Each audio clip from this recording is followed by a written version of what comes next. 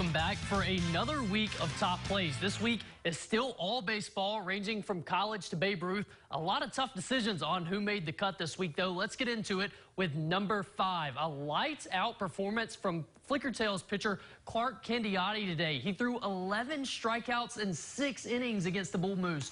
More strikeouts today than he's had in his previous three starts combined. That's an impressive outing. More from that game in just a minute. But now we go to number four, Governors versus Chiefs. This one's going to be a towering fly ball to right center. It's lost in the sun, but Blake Aarons comes out of nowhere to make the catch.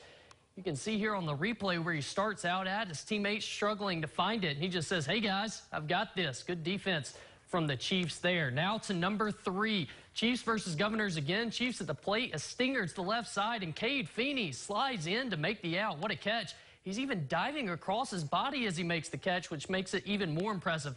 That would get the Governors out of the inning. They'd go on to win the game. Now to number two, A's versus Reps. Line drive to the hot corner here, but Dylan Geiger lays out for it.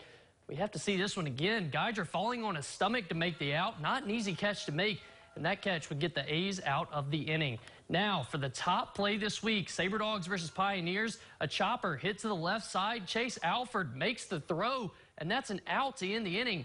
You have to break this one down here. That was impressive. Alfred all the way in foul territory here, throws across his body, and Bo McClintock, the big fella, stretches, stretches all the way out for it.